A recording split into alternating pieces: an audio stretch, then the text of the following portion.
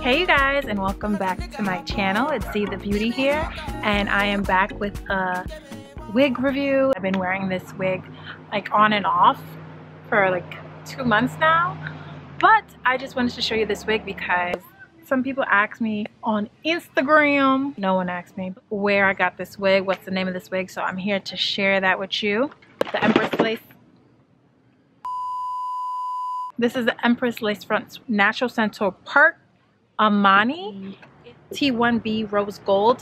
So usually that means it's a 1B root and the rest is rose gold. Rose golds are like more pinkish in their hue and this probably has like a slight pink tint or hue but it is mostly closer to the white silver side and right now it doesn't even look that silver when I saw other people review it I didn't really see people review this color now that was a while ago but every time when I see wigs online, I always like to pick a color that most people have not reviewed yet. This hair is so beautiful and it's so natural. People thought that this was my own hair because of the texture and the parting is not bad but I didn't I don't think I plucked this parting or did anything with this parting. I have a widow's peak so that tends to come out. So my best way of concealing a widow's peak with the middle part is just kind of covering the widow's peak or putting like a little slight part in the widow's peak and gelling it down but I didn't do that today because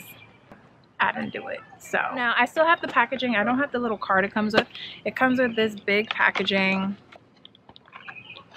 and then like directions on to dilate like if you want some people might want to cut where the lace is and bring out their own hair but I don't know why you would want to do that unless your hair is is this color. Now this hair comes in like almost all colors.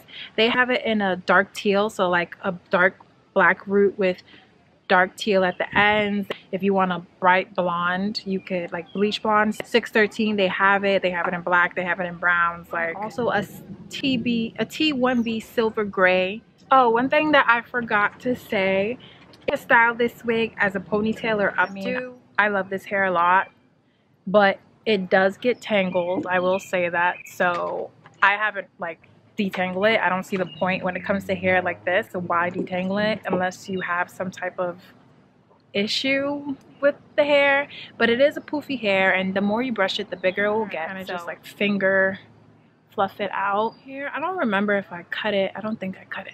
But it comes down here. It will tangle. It is synthetic. If you do want to wash it, probably use some softener with it just to make it a little softer. I've only worn it as a middle part. If I want, I could wear it as a side part, but I probably wouldn't. Like, it's just gorgeous. And I love full ha hair because I have such a big head and I have such a big forehead. But get this wig and thanks for watching you guys. Bye. I bought this wig maybe ending of for Honey's here, so when she wants to play. Come say hi, honey bunny. Okay, okay, okay. I did okay. All right, no.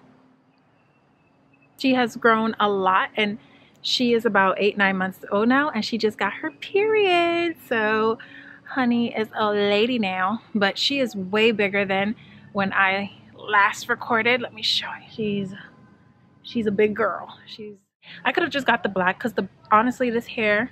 Honey.